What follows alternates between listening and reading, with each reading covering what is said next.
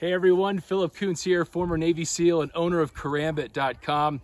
Uh, just a little advisory on this one. Uh, I went hunting, I got my first bow shot. Uh, I got a deer, It was just looking for some meat this year, and uh, I am gutting it with my friend Robert, who you'll meet here with my karambit. So another amazing way, all you hunters out there, uh, this karambit is amazing for skinning uh, animals. And so just as a, uh, a little bit of a, of a warning, uh, we're just gonna go ahead and, and, look at the deer now as I'm just gonna cut off its, its front left shoulder blade uh, with my karambit so you can see it. We're not gonna gut the whole animal here. We've already been doing it a little bit. So uh, if you're a little squeamish, go ahead and turn the video off right now. Thanks for watching.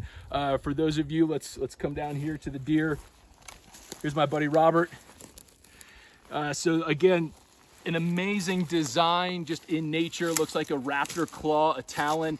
Uh, really great for cutting and uh, very, very sharp and very surgical as well too. So I'm just gonna be cutting off the front left shoulder blade here with the karambit.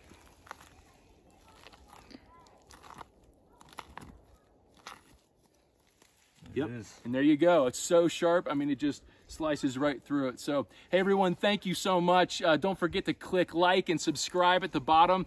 And uh, all you hunters out there, pick yourself up a karambit. They're amazing. Thanks. See ya. Hey guys, thanks for watching the video. Don't forget to like and subscribe and follow us over here. And if you enjoyed what you watched, click over here for more content. Thank you so much and have a great day.